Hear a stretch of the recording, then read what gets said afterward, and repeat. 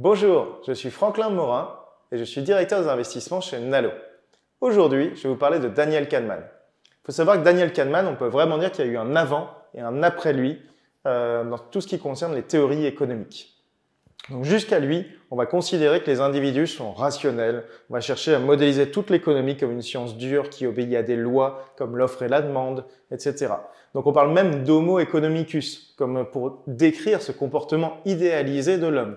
Et en fait, Daniel Kahneman a dit, mais pas du tout, et il a publié en 1979 sa théorie des perspectives, qui montre bien en fait que bah, les personnes sont cohérentes par rapport à leur perspective, mais leurs perspectives ne sont pas la réalité froide et objective.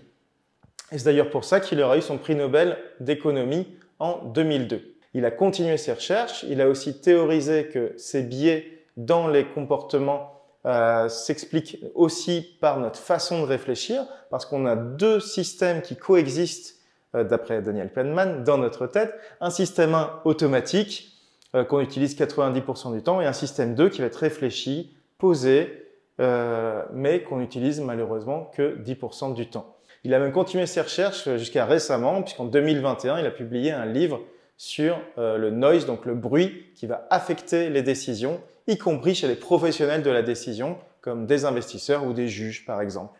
Chez Nalo, on s'inspire beaucoup des recherches de Daniel Kahneman à plusieurs niveaux.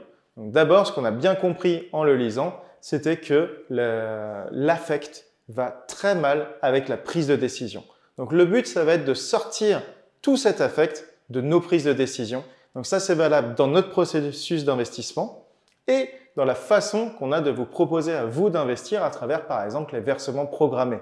Globalement, automatiser la prise de décision, ça revient à enlever tout affect dans cette prise de décision-là. C'est la même façon que c'est bien d'investir de manière programmée afin de ne pas se poser la question chaque mois, est-ce que c'est le moment d'investir? Est-ce que c'est pas le moment d'investir? Voilà.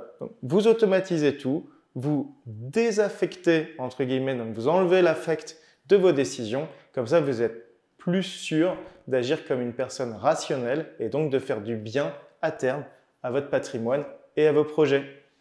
Deuxième aspect, c'est la, comptabilité mentale, c'est-à-dire qu'on arrive mieux à réfléchir à notre patrimoine, à ce qu'on en fait quand il est investi en poche pour ma retraite, pour les études de mes enfants, pour euh, ben, un achat immobilier, plutôt que de réfléchir à un grand tout euh, qui, euh, quelque part, devrait répondre à l'ensemble des points, aux différentes dates définies, etc.